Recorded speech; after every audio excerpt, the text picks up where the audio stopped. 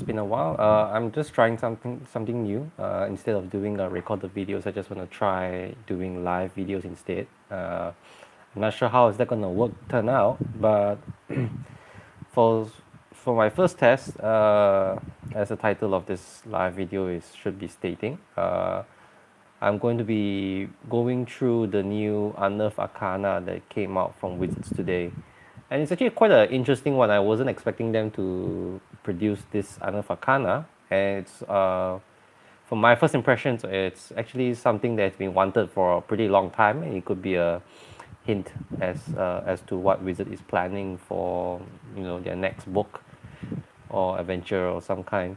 Uh from what I understand there seems to be already some hints that or at least some mechanics that will be that will be in the Dungeon of the Mad Mage. Uh, they will be spell jamming so I'm not sure how does this new Arcana fit in or is or are they still in the stage of or is or are they still in the stage of trying to uh, fine tune fine tune their mechanics for the for space jam for spell jamming. But I highly doubt it because it's already going to be released very soon. It's I think it should already be released in some stores already in America. So this Arcana of ships and the sea uh which deals only with uh naval related rules for ships and com and I think even combat. Uh is it's a sign of what wizards are planning and what they are thinking. And uh I don't know I mean I have no insight into what what they will be using these rules for. But yeah I mean um naval com naval rules has always been something that uh I I've seen being asked for for a very very long time. And even though there are some uh rules for uh underwater uh combat and as well as some uh vehicles with like boats uh listed in the P_H_B uh there hasn't been a very robust set of uh five E mechanics when it comes to naval combat. So I have the uh Unearth Arcana R_P_D_F open right in front of me right now. Uh I know it's probably gonna look very odd um that you know you just you you're just gonna hear me uh you're just gonna be seeing me instead of the P_D_F uh I've tried to do a stream test today from my from my P_C but it doesn't seem to work out. So we'll just have to use this for now and it's probably not gonna look very pretty. But uh I'll just be giving most of you guys my live reactions and while I'm reading through and I'll be like reading aloud just to uh just to tell you which parts of the P_D_F that I'm currently reading through at the moment. And fir~ first things first usually when I get a Unearth Arcana P_D_F or actually even like even like a rules P_D_F or some kind or a rules supplement of some kind I try to give it a very like initial glance uh I want to I want to I usually want to see how the whole document itself is uh broken down to. So looking at this P_D_F uh it's it's the the main headers are uh ship stat blocks and there's like examples a bunch of holes. It's like the the majority of the whole P_D_F I think is taken up just by just sample stat blocks of ships and all kinds. And then you have uh rules for officers crew uh travel at sea. And what else we have? Uh ships in combat. Um crashing owning a ship.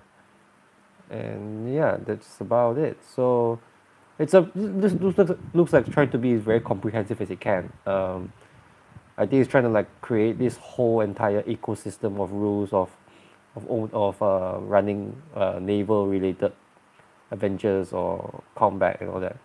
So it's a good start it's a good start. It's a nine it's a nine pager it's a nine page P_D_F so that's actually co~ covering quite a lot of ground in nine pages I would say. Uh from some of the subheadings I see like environmental hazards um special uh downtime. So there's a these are use these are sticking on to some of the current mechanics that five E has at the moment uh which is a good thing for me cause I never really liked when D&D introduces entirely new mechanics uh that just adds on to the base mechanics that's already existing I always felt that five E is always stronger when uh it it it it expands on its current mechanics rather than adding on new mechanics which is going to cause the whole system blow, like what 3.5 went through.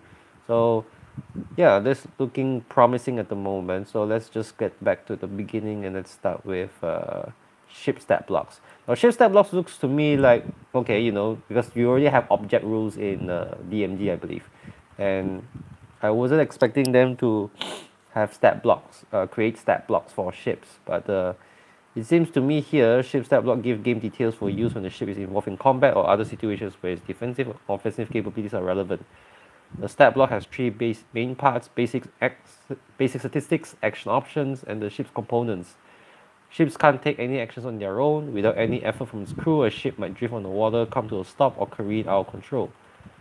So, looking at the basic statistics, statistics uh, it looks like they are trying to stat the ships as though they are like monsters. Uh, even the framework of the statistics looks like it's very similar to what you will see in the monster manual. Um, it looks like inside so you have size monster ships are large huge or gargantuan the ship's category is determined by its length and width whichever is longer. For instance a ship that is 10 feet long and 20 feet wide would use a size category 20 foot which means the ship is gargantuan okay basic stuff there. Uh, so say if this if something is longer in length uh, then you would just use the closest size to that. So gargantuan I think is the largest size now in uh, 5e. Uh, so I think most I miss most gigantic ships like you like battleships or you know keels, uh, warships will probably fit into that category, and then you would have uh, smaller ships. But I think the smallest, in, I think what they're trying to say here, the smallest size of the smallest ships would be a size of large at least because of the maybe the length and the width of the ship. So would, there would be uh, at least ten feet across, either way in either direction. Now, space. A ship doesn't have a space, square space unless its stat block specifies otherwise.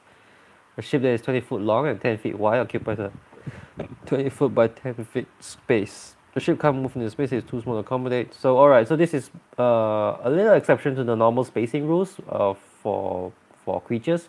Uh, that if the whatever the space is stated or whatever the size is stated for the ship, it, it, it covers exactly that amount of space. So unlike the creature spacing rules from 5 from PHB, it says that even though a creature, a medium-sized creature is uh, has a space of 5 feet, it doesn't mean that they occupy exactly 5 up to 5 feet. They are just have they just they just fit into that square and they have the control of the rest of the 5 feet.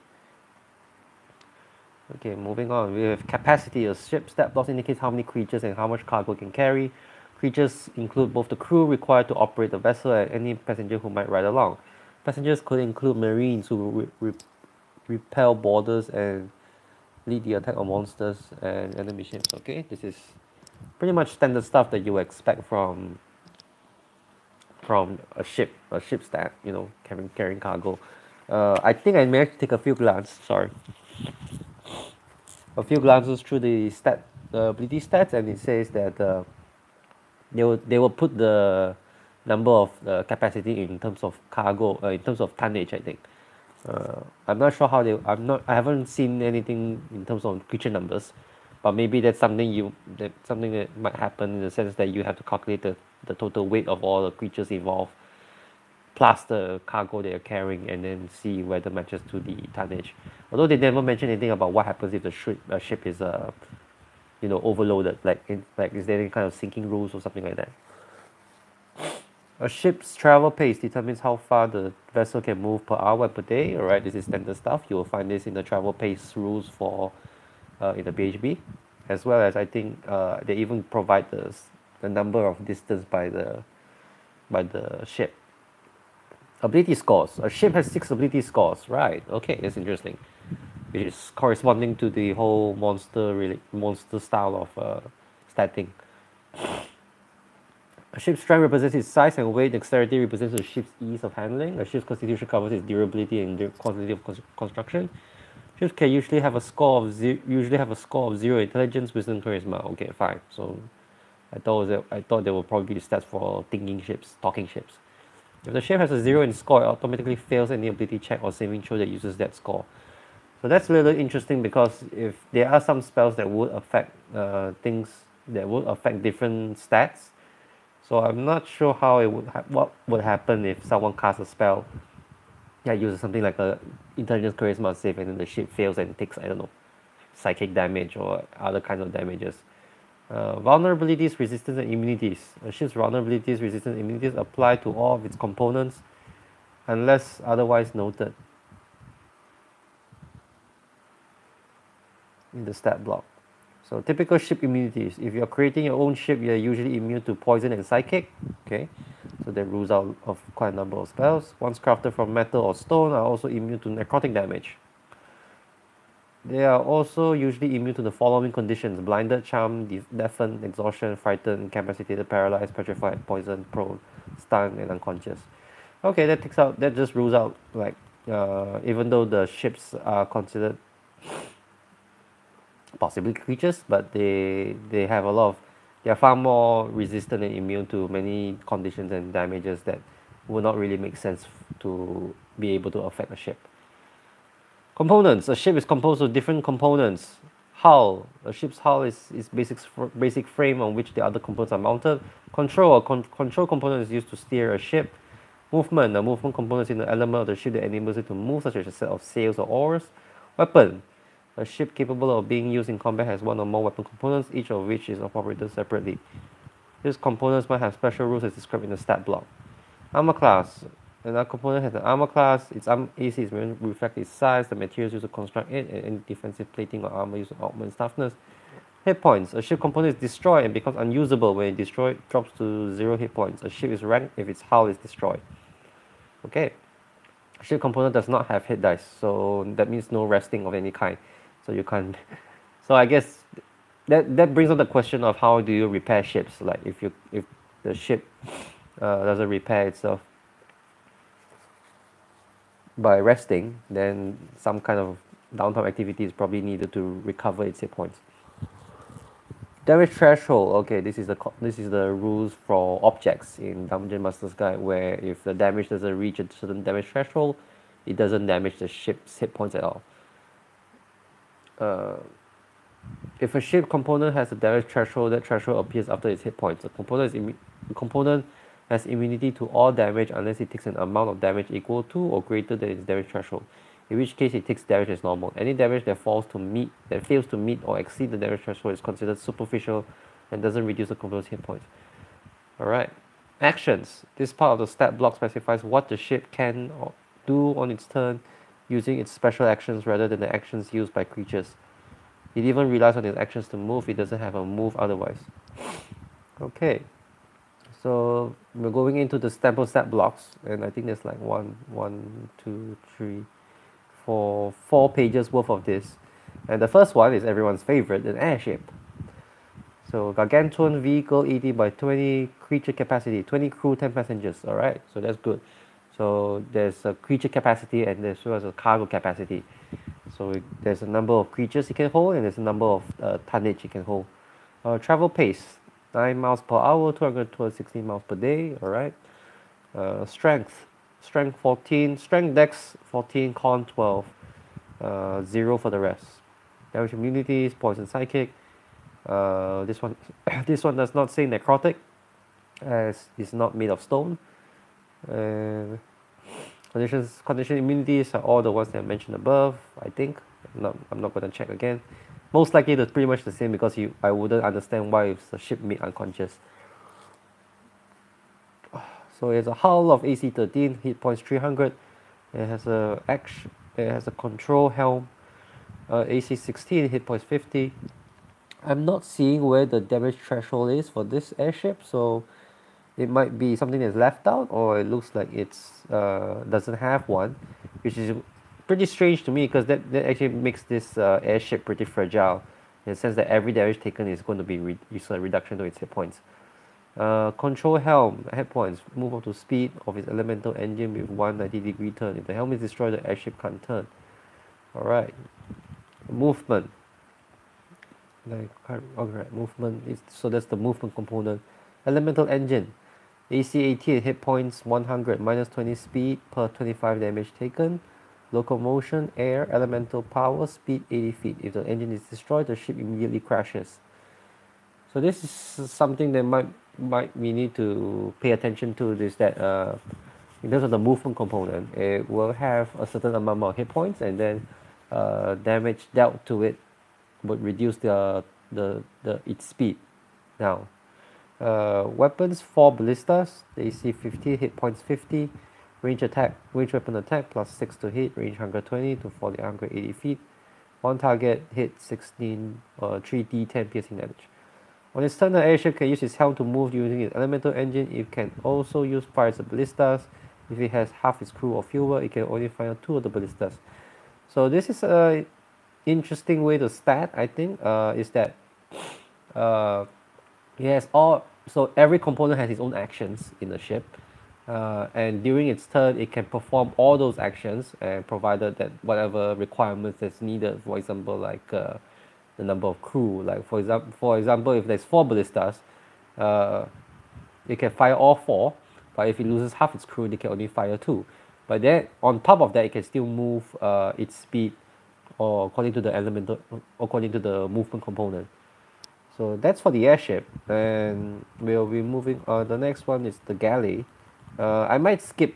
I might. I don't think I'll be reading through all the sample stats provided. Uh, I'll be, but I'm trying to look for some highlights and some differences and to see like what's how this whole thing all fits together in the, in the larger picture. So galley has 80 crew, 40 passengers, 150 tonnage, 4 miles, 96 miles per day. So much, much slower compared to the airship. Uh, in fact, I'm not even sure like is there a way to increase the speed of a uh, of a ship.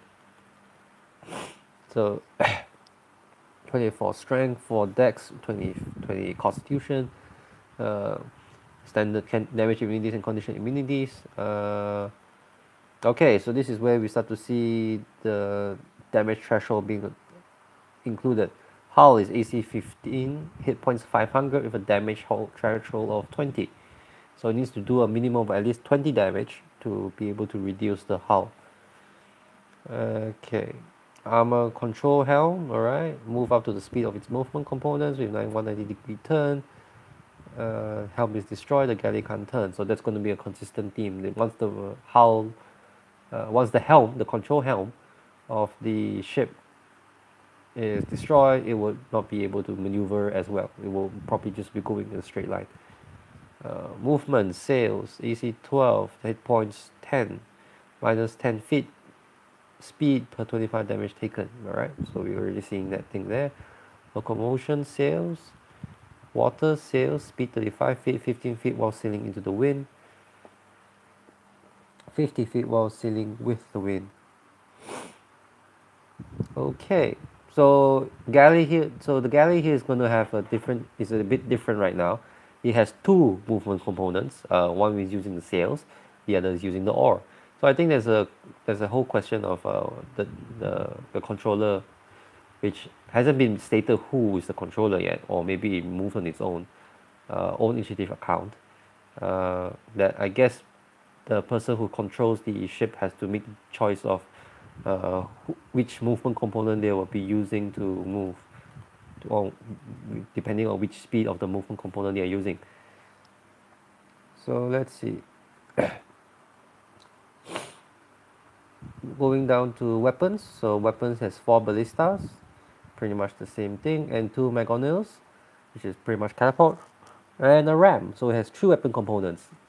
Uh, also has different AC different hit points actually now that's coming that's bringing up uh, a question for me is that uh, how do you, if someone attacks a ship how do, do do they get I mean do they get to decide which part of the components they want to attack with?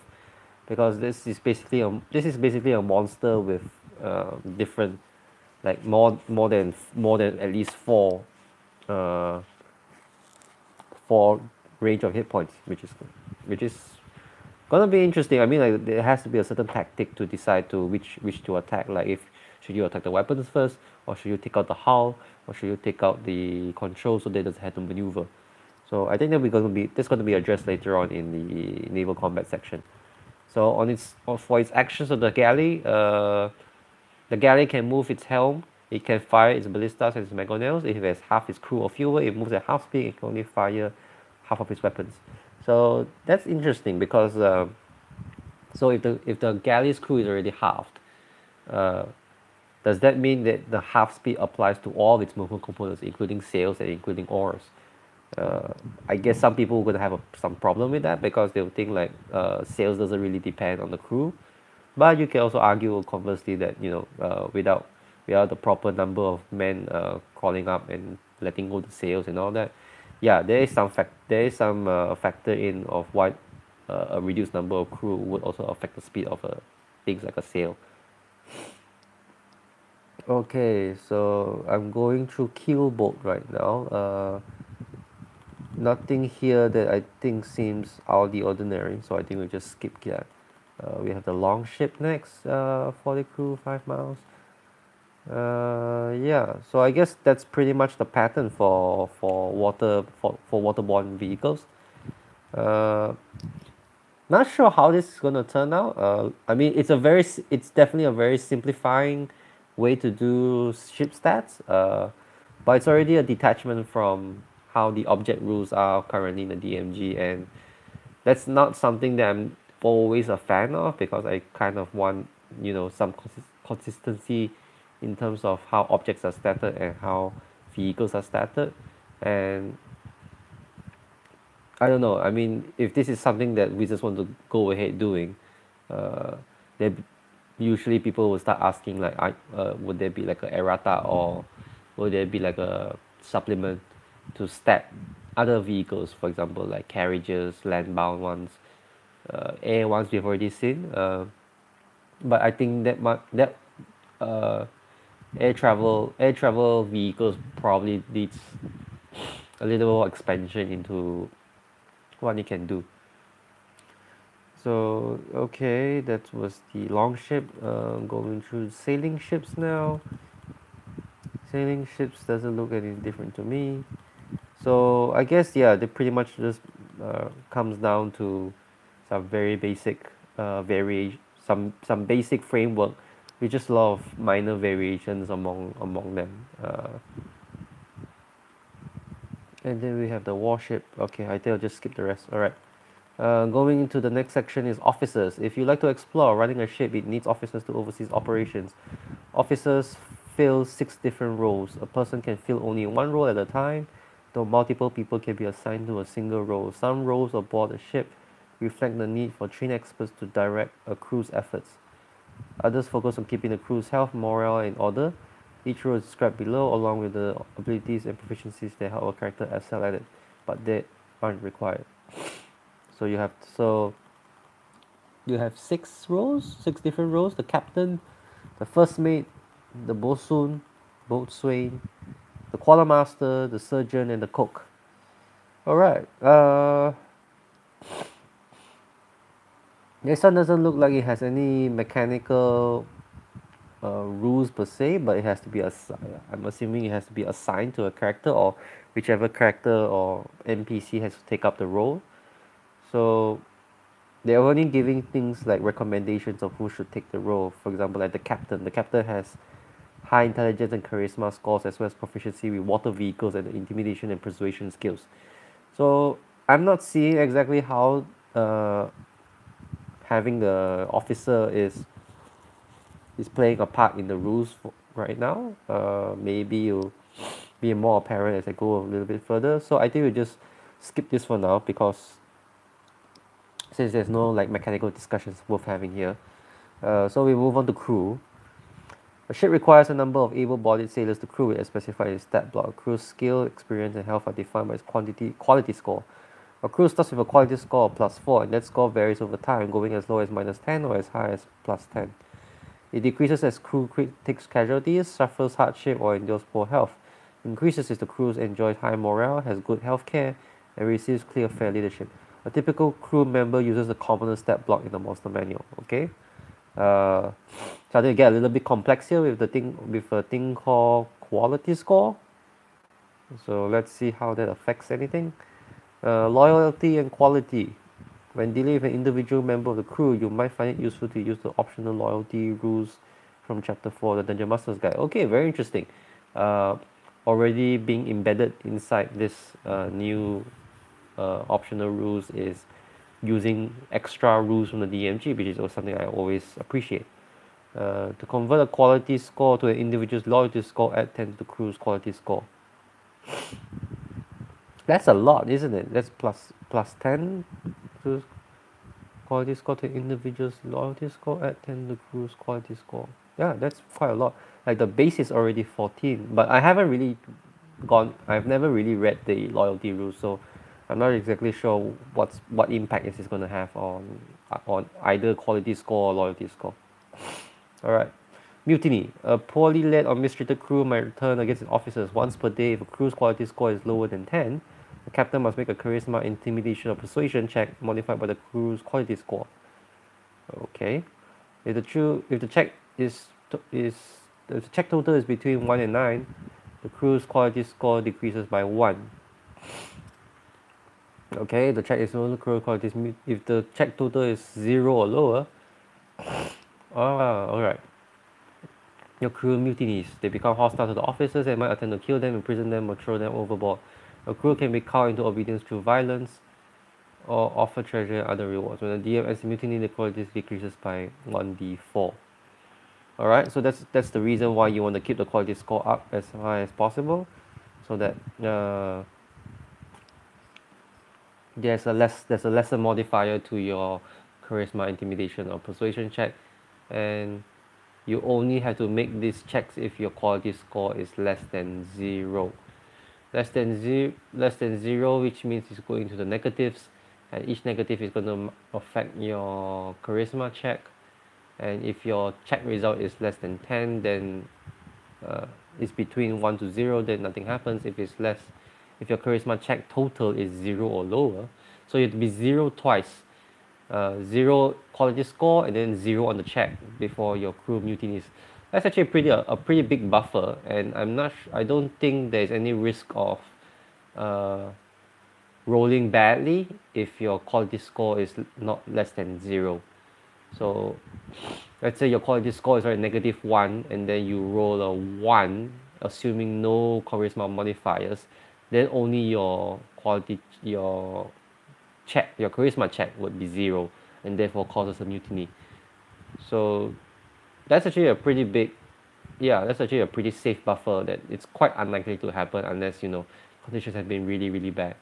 And that's interesting because you, if by having this quality score thing, uh, that means players or whoever is controlling the ship uh, would have to be pretty pretty careful to make sure the quality score doesn't drop too low uh, it'll be something like a death like a death save or something like that to avoid to avoid uh, you know disaster from happening. And that's something I think that uh, whoever's using this rule should be very aware of. Okay shore leave. Uh, life aboard a ship is constant wear of the crew. Spending time in port allows the crew to relax and regain composure. If a crew's quality score is 3 or lower the score increases by 1 for each day the crew spends on shore or on port or shore. So that's already one way to restore uh, quality uh, quality score and it can only go up to a maximum of three. So that means if you were quality if your quality score was at zero uh, just spend three days off on on on shore and it will be back up to three and then it will lose its, its effectiveness. So that's all right. Uh, although I was hoping there would be other ways to recover uh, quality score I don't know maybe with some sort of charisma check or maybe they were like other downtown activities that the D the, the, the DM could allow the players to do to increase quality score beyond three. So there might be a reason why uh, Mike Mearls or Wizards is deciding to put uh, put a cap on three. Uh, we'll see. So yeah, okay. This is a I'm I'm I'm okay with this mechanic so far. Uh, it has its purpose uh, not sure how many people will really like to follow them but you know let's just continue on. So this is already page 6 and we're like 3 pages left. Okay. Uh, travel at sea. Here are the rules to help adjudicate travel at sea specifically travel of an hour or more. This material builds on the travel rules in the player's handbook and the dungeon master's guide. Okay let's see what about that. Tra ship travel pace.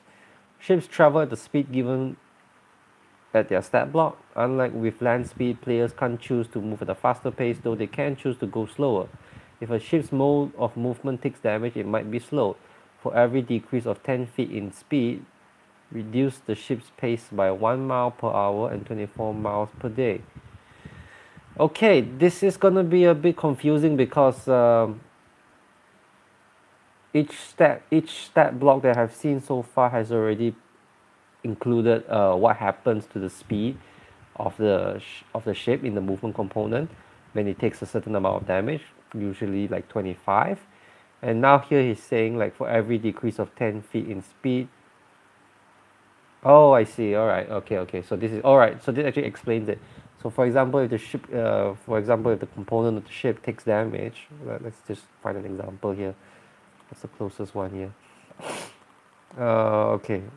Uh, warship so the warship has uh, movement components of sails and oars. Uh, with sails it goes at 35 feet uh, 15 while sailing into wind 50 while sailing with the wind. With the oars it goes uh, has a speed of 20 feet with 80 or more rowers 10 feet with with 40 or more rowers 5 feet with 20 or more rowers. Uh, that's a little confusing because uh, the warship has 40 crew and 60 passengers but doesn't mention uh, how many of those are rowers. So I'm assuming uh, rowers are already included in the 60, 60 crew and 40, 60 passenger numbers. Although I'm not sure if they are they are allowing the passengers to be the rowers as well you know because typically it might be uh, like slaves so they're not really counted as crew. Uh, and this and yeah because the warship allows for 80 rowers.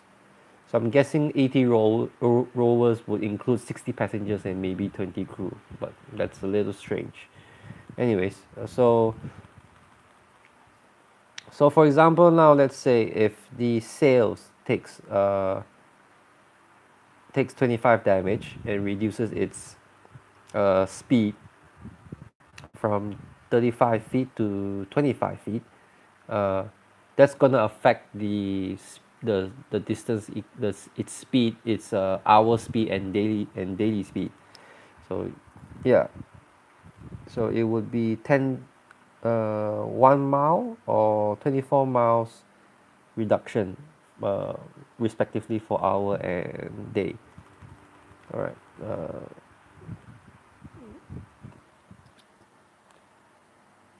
they haven't have they given the speed rule speed for day and hour?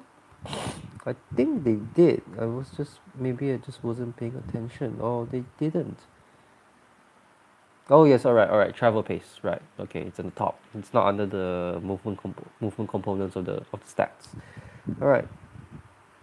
So one mile or 24 miles uh, by hour and by day. That's actually a pretty big uh, reduction considering like warship only has 4 miles. So if it loses 40 feet uh, to its speed in the movement component uh, practically it goes to 0 miles per hour. So that's gonna be a little weird like that's gonna be hard to explain uh, in terms of uh, role playing like so mechanically the speed moves zero miles per hour but how come the ship can uh, it's like the ship literally just uh, floating by itself? And it's not really that hard to reduce the speed of the uh, of the movement because it only reduces 10 feet. Uh, I'm not sure. I think there's there's probably a better way to streamline this rather than just putting an arbitrary number. But you know that's the best part of uh, having an Arcana right now so you can do the playtest and to be honest I'm not really really sure if I have a chance to playtest this uh, and I'll probably say why in a different video. But you know it's good to just dissect uh, and and analyze these rules right now as it is and let's just to see if it really just makes sense at the moment. So going back to travel at sea we have the activity while traveling section. Uh, activities available to a ship's crew and passengers are a bit different from the options available to group traveling by land which is in the PHB uh, a number of activities are restricted to certain officers ah okay so that's makes makes a little makes makes a bit more sense of why certain rules matter uh, unless the DM rules otherwise. Okay, give the power to the DM. For example, a bard might be allowed to engage in the raise moral activity by playing bawdy songs on deck to lift the crew's spirits. The party space has no effect on the activities they engage while or activities they can engage in while traveling by ship. Alright, uh, not sure why they had to mention that. Uh, well, it's good to be clear. Uh, although I'm not very sure why, if the party was traveling at fast pace on land, uh, would be able to affect uh, the activities. So I guess that's true. I guess uh, if you were traveling fast pace, you technically couldn't stealth. But then I don't see any. I don't see the characters doing the stealthing when it comes to you know stealth rules for a ship. I suspect there might be its own rules for how to stealth ships and deciding the pace. And it's already like I read bef- before this, they already mentioned that uh, the ships can't determine they can't determine the pace.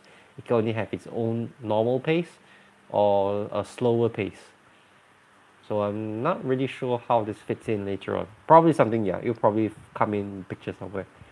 So the down, so the activities while traveling are draw a map, forage, okay, pretty much the same thing. Raise morale, right? So that I think that's the one that will increase the quality score. Uh, first mates only, so only first mates can raise morale.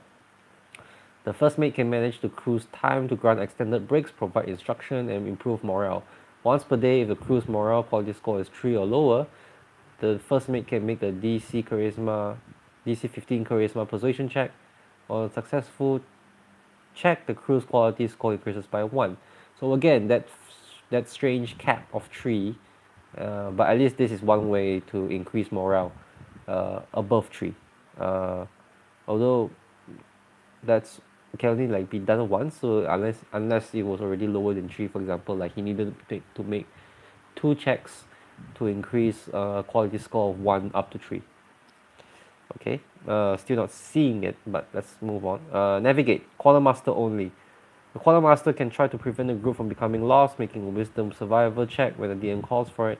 So same loss same loss rules uh, like in the DMG uh, except that this one this one is tied to a specific role so okay um I guess that can kind of be reverse applied to the normal traveling rules in the DM in the PHB and DMG as the who's the navigator uh, who's the forager who's the map maker and all that.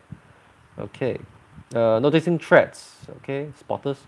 Uh, use the passive wisdom perception score of the character or the crew to determine whether anyone on the ship notices a hidden threat the crew has a passive wisdom perception score equal to 10 plus crew's quality score. Hmm, okay, interesting. The DM might decide that a threat can be noticed only by characters in a specific area of the ship. For example, only characters below deck might have a chance to hear or spot a creature hiding on board. Below deck, hiding on board. Oh, okay. Huh. Okay, I thought noticing threat was gonna be referring to ships, like other ships, like uh, you know, preparing for naval combat but it seems to be applying to things like things that are happening within the ship. Uh, not sure how is that how is that going to work really well, but uh, it sounds like it sounds like uh, players need to like assign somebody to like patrol around the ship to make sure that nothing funny happens. Uh, okay, um, not sure. Yeah, just not sure what I, what it was trying to do. Okay, repairs. They can be only done by the bosun.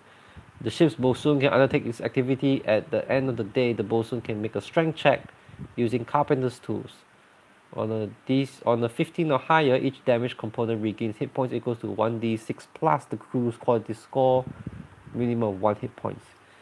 That's not a lot considering uh, 1d6 and considering that uh, some hit, hit points for some of the components can go up to like 500 that's gonna take a lot of days just to fix uh, something a component back to full. Uh, I mean like even if it's take like 500 hit points, it's, take, it's down to 300 hit points. That's 200 damage worth of repairs to do. Uh, might have been better if there was some kind of mechanic that allows like if like there were more in people involved in the repair, then the number of dice roll would be higher. Uh, but it's a good it's a good uh, framework or start to start with. So maybe it's maybe something to be improved on in the final version. Alright stealth. Okay so since since there's a replacement of you can't do uh, slow pace if there was uh, you can't you, uh, you can't you can't you can't stealth or do whatever in a slower pace. So I guess this is a, supposed to be the substitute version of the uh, ship rules. Uh, captain only. The ship's captain can engage in this activity only if the weather conditions restrict visibility, such as in heavy fog. The ship makes a dexterity check equal with a bonus equal to the ship's quality score to determine if it can hide.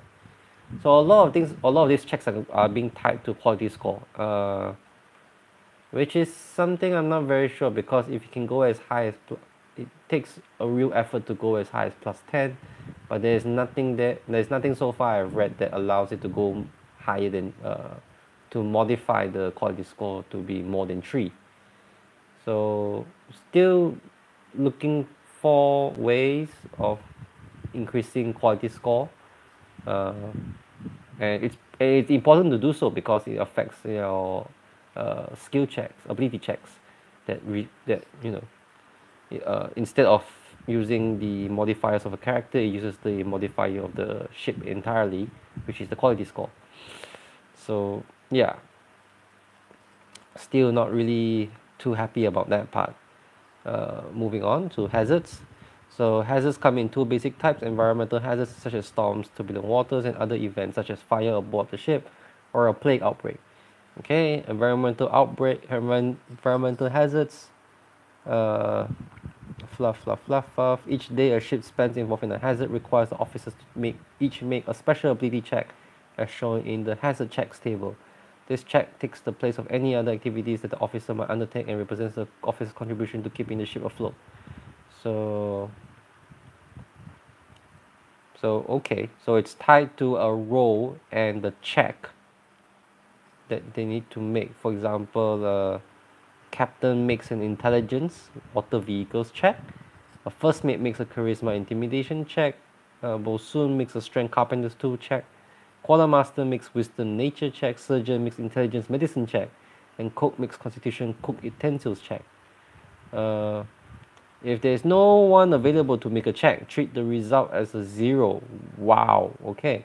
Finally, roll a d20 for the crew using its abilities quality score as modifier to the roll add up all these checks and refer to the hazard check uh, result table. That table shows if the ship has met with disaster, exists, or surviving the day of the hazard. Okay, um, some interesting interesting mechanics they're trying to introduce to this. Uh, not sure exactly the reason why they are tying certain uh, like why certain roles can only do a certain certain type of checks. Uh, that's not gonna go too well to explain to players but uh, it's both a bit uh, unnecessarily complicated but at the same time it has a simplified uh, hazard check result table. So if your check total is 140 plus and I'm not even sure how to even get 140 plus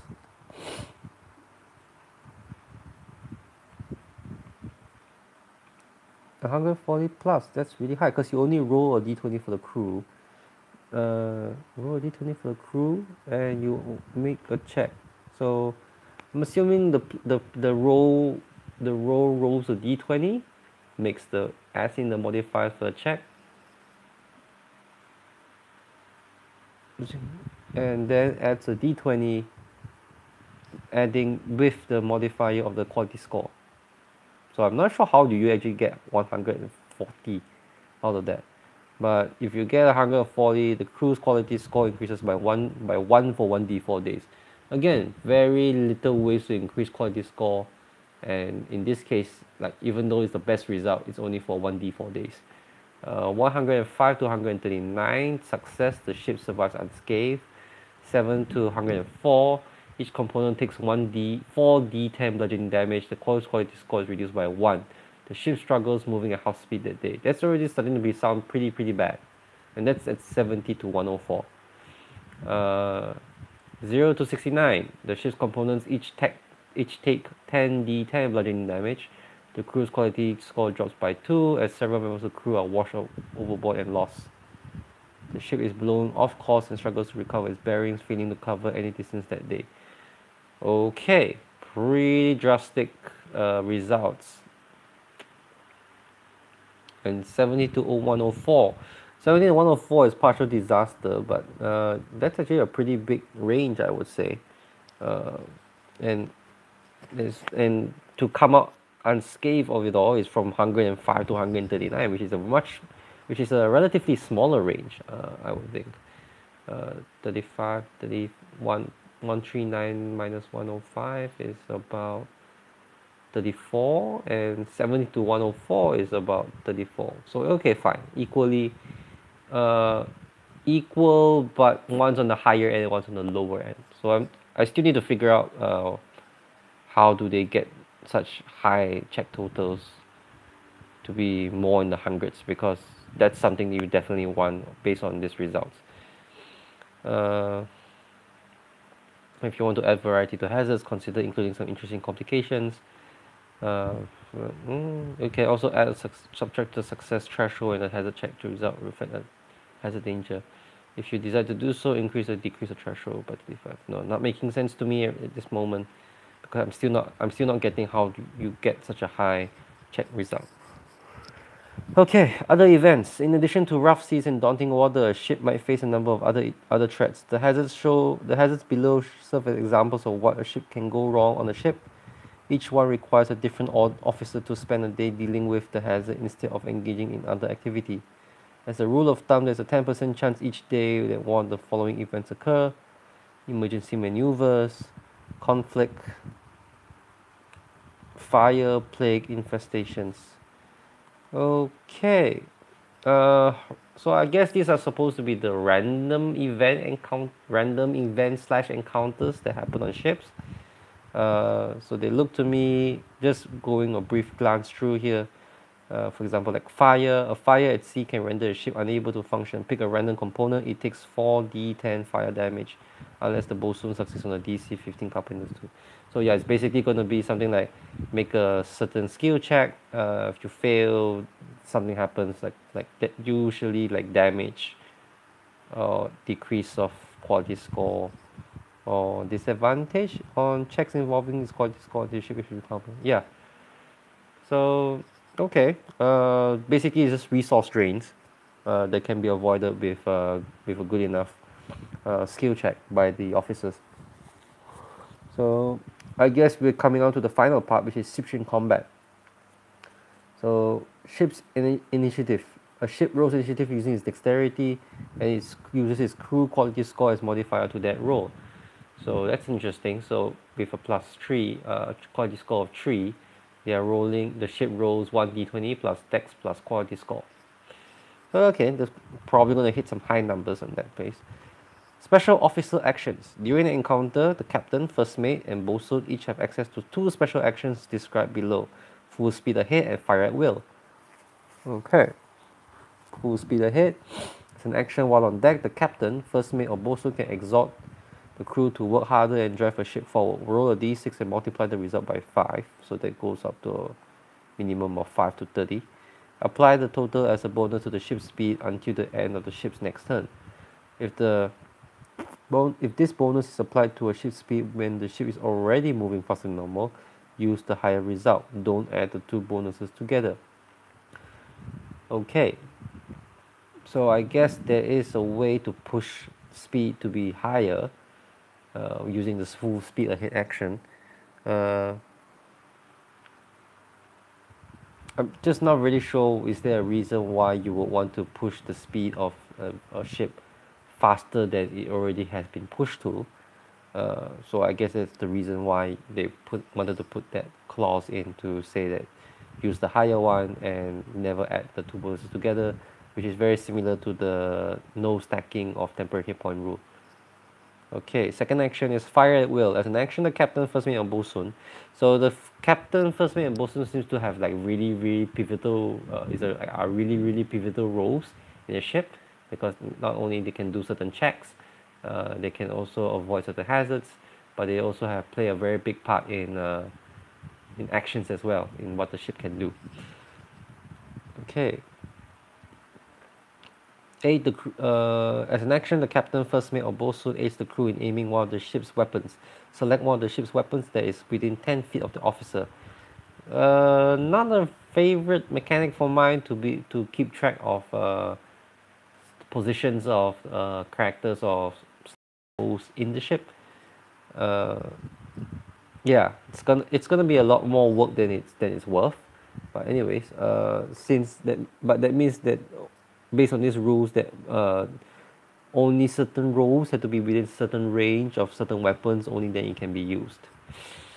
Not a favorite thing of mine but let's just see where it goes. Uh, it gains advantage on the next attack roll it makes before the end of the ship's next turn so that means practically when, when if you're running a naval combat encounter you have you need to have the ship itself in its uh, actual size. You need you need to have the opponent ship obviously. And then you need to put your characters within the ships within the ship and where they're positioned at. And then they have to make like movements uh, between different weapons or wherever. So the position of the weapons of the on the ship also matters like so that the uh, character slash role is able to move between weapons to give advantage. Another very big uh, big issue I would say uh, that the web the ship can still fire its weapons uh, without with or without the role nearby. It's just a matter of uh, tactical advantage. Okay. Crashing. If a ship moves into the space occupied by a creature or object it might crash a ship avoids crashing if the creature object is at least two sizes smaller than it. So that means uh, for a for a large ship for the smaller ship which is large uh, they can avoid things that are smaller. There can things they can avoid things that are small or tiny. So that's not really a lot that's not really a lot of options. Unless you're gargantuan and then only then you can avoid something like medium medium or huge. Yeah. I think you probably need to clarify that like with an example or something like that. When the ship crashes it must immediately make a DC 10 constitution saving throw. Uh, on a failed save it takes damage to its hull based on the size of the creature object it crashes into as shown in the crash damage table. Okay. It also stops moving if the object is bigger than it or one size smaller. Okay otherwise the ship continues moving and creature object moves to the nearest unoccupied space that is not in the ship's path. At the DM's discretion an object that is forced to move but is fixed in place is instead destroyed. Okay uh, so that so let's have a look. Uh, if it crashes into a small creature it takes 1d6 damage to the hull. Medium creatures 1d10 large creatures 4d10 large 8d10 and gargantuan 16d10 so that's not really a lot of damage considering uh, like if you rams into a gargantuan thing it deals 6d10 which can be as low as 16 to 160 damage. Uh, that's probably not not enough damage to take out most of the stats uh, most of the ships started here because they those literally go into the hundreds 100 and 200 especially the hull the hull part the hull component of those ships. Uh, yeah so that means that you're just gonna keep on uh, the moment they ram you're gonna keep on ramming the creature down until it can't be rammed anymore and most probably the creature is gonna be destroyed if the DM allows it uh, a creature stuck a creature struck must make a DC dexterity saving throw with a DC of e equal to 10 plus ship strength modifier, taking damage based on the ship size. Ship size? As shown in the crash damage table. So that's a reverse. So the that so when the ship crashes into a creature or object, uh, both sides take damage. From for how it reads, yeah, both sides take damage if the if the target if the target fails their saving their dex saving throw then they then they also take damage uh, based on the ship size so if if like it's a warship which is like a 40 it's like a gargantuan uh, 16 d10 on the on a crash target is gonna that's gonna be a lot um, I mean they are obviously monsters they are above the the 200 range but uh, for the most part I think most creatures are gonna end up pretty pretty beaten up if they take uh, the high range of a 16 d10 Okay, okay. Uh, so it's full damage on failed save, half as much on a successful one. Alright, standard stuff. Okay, last section. Owning a ship. If you purchase a ship, you have unlocked an exciting new avenue for adventure and sign up for a mountain of logistical challenges. Keeping a ship functioning requires a tremendous amount of work. The ship uses a downtime activity in managing a ship to abstractly represent the effort needed to keep a ship functioning, its supply stock, and its crew's pay. See the Dungeon Master Guide and Task Guide for more information on downtime activities. Alright, so these are downtime activities of what uh, of managing a ship.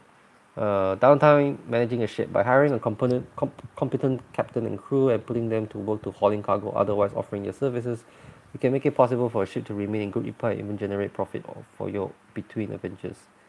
Managing a ship is a downtime activity that requires time and effort to recruit officer and crew. The ship is available for use when needed. Otherwise, the ship hauls passengers and cargo to cover the cost of maintaining the ship and paying the crew.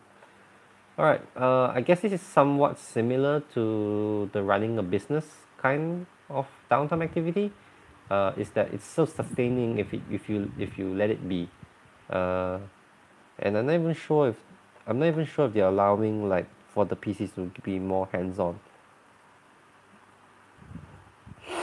yeah I think it probably should mention somewhere the amount of maintenance it requires so resources it takes one week to recruit a crew and 100 plus 4 d6 GP to cover the cost of recruitment and supplies once you have paid this cost you have a captain and crew to maintain the ship so that's not really a lot. 100 GP plus 4d6, which goes between 4 to 24 gold pieces. Pay 124 gold pieces and you can get an entire crew with captain and yeah, with a, with a captain to get the ship. That's really cheap. That's really, really cheap. Uh, although I probably need to reference later on uh, how much does a boat, the, does a ship uh, cost to maintain. But based on this it doesn't really look all too difficult to own a ship okay resolution. Once you have a working ship it turns a small profit each month. At the end of every four weeks you earn five d20 gold pieces. So yeah so just buy it. So just on based on this alone just buy a ship get to pay 120 124 gold pieces and then it makes back 5 d20 gold pieces you know in four weeks. So you're looking at the potential of 100 gold pieces maximum. And therefore that means that it, it could technically pay itself back like in two weeks if possible. 100 in the first week and another 100 in the second week and you're pretty much done. Uh, so this might be a very big loophole for players. They'll be looking to use this to their advantage. Uh,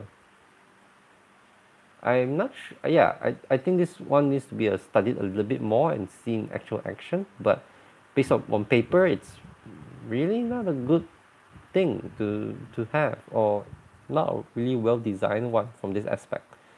Alright complication. A ship owner runs the risk of foul weather a bad trade deal or mutiny. When rolling to determine your profit if any of the d20s are 1 roll on the ship ownership complications table or the DM may create a suitable okay now that makes a little bit more sense. Um, five d20s rolling uh rolling ones on them. Uh yeah that's actually that's actually quite a likely quite a likely thing to happen. So yeah so let's look at the complications that could happen. Uh these roll a d6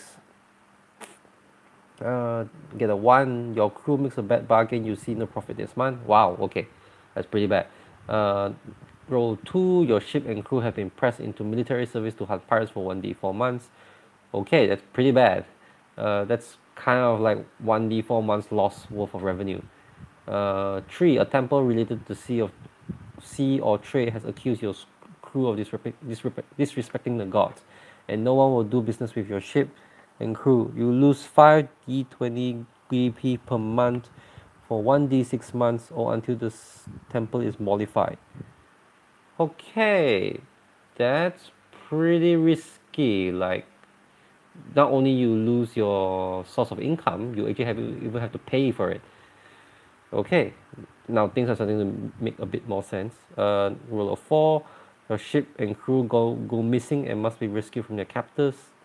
And you're kind of like almost close to losing your ship. Number five, your crew mutinies and is on the run from you, so that's uh, effectively lost the ship. And number six, your crew is caught smuggling illegal goods, they are imprisoned, and your ship is impounded. So basically, I think four, five, six is just is just a way of saying uh, you've lost your ship and you have kind of have to do something about it.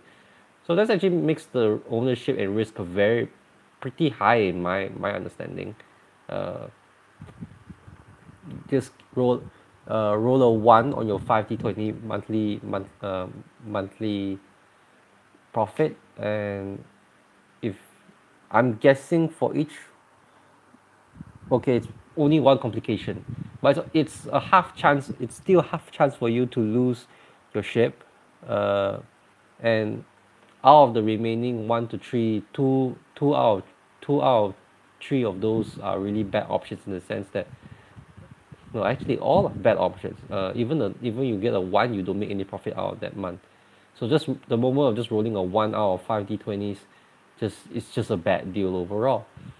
Uh yeah that actually makes uh ship ownership a pretty risky business. Like uh you had could have spent 124 to get your entire crew not it not added on to the usual cost of maintenance and and uh ship ship ownership like ship purchase. And it's not a very stable source of income. Uh it could be a it, and it's not and even the amount of income that you get is you know not not entirely sure to to justify the kind of risk that that's involved. Uh okay that makes it a bit more interesting as a downtime activity. Uh I mean it's kind of it kind of like encourages players to be like build to build like a entire empire of ships a fleet of ships uh ships that you know uh to spread out the cost the spread out the risk and all that okay um that's the end of the whole thing. Um talking for an hour. So I don't know. Um for me is this a is this the basis of a ship naval campaign? I not I still think it's not um it's not flavorful enough for me. Uh the mechanics are pretty basic for for me I feel. Uh kind of reminds me of three point five where they had an entire supplement just based on uh naval and sea related things. Uh obviously that's like they had an entire book to dedicate to that sort of thing but uh I was kind of hoping that uh wizards would take a lot of exam take a lot of inspirations from there to make ship more more fun in a way rather than being more procedural and uh adding on. And you know despite this despite adding on to whatever current mechanics of travel and uh monsters and downtime activity they have right now uh I still think it's a little bit too complicated than it needs to be. Uh or at least it's or at least or at least they're covering bases which I think can be done a bit more elegantly or at least in a more fun way uh of resource management so I guess yeah there are still a lot of there's still some questions that I would have for for for people who are using these rules. Uh the quality score thing is really you know uh unintuitive from the moment from the way I see it. I definitely want someone to show show it to to to prove it to me or show it to me uh how to get a better quality score to make things a bit more worthwhile. And I guess there are also a few like basic things that are not really clear about like who actually controls the ship. Like even though the even though each character is given the specific roles but who actually has the say on uh how the how the travel speed is de~ is determined uh what downtime acti~ who has the say on who can do the downtime activity. And um who determines what uh who determines what activities can be done. Yeah. Uh so overall you know uh very basic. It's still very very basic uh set of rules. Uh definitely definitely can use can use a lot of expansion on uh but if this is done if this sec if this section uh, is done well or is part of a larger book of of additional rules uh yeah then I would definitely want to see a bit more expansions. But if it's like for an adventure like just a minor mechanic for an for an adventure uh which I would have argued that this would have this would have been perfect to put into Tomb of Annihilation because there was a travelling bit from Waterdeep to Chult and generally I think like if if uh if this was added into Waterdeep uh it would be it it's a it'll be an interesting addition uh that uh players would be able to travel outside of Waterdeep uh by by sea uh rather than just by land. Uh yeah. So yeah I guess that's all I have to really say for now for uh this Arcana uh I prob I'm I'm obviously not not gonna rate it like on on a what basis but I've already pretty much shared my thoughts on how it works and how I envision it to work. So yeah. So I guess I'll just stop here for now. Uh I'll be looking forward to the next Arcana and I'll be this will be one of my consistent series uh when a new Arcana comes out. I'll try to do like uh just to go through and talk about it a bit more. Uh I'm not sure if I'm gonna like try to go back to some of the previous Arcanas yet maybe if I think that particular Anafakana has a has a more interesting role to play in the future supplement when they announce them but from I'll we'll just I'll just take this as my starting point and we'll see where we go from there. So yeah. So I guess that's all I have to say for now. So this is the questing G_M signing out for now. Have a great night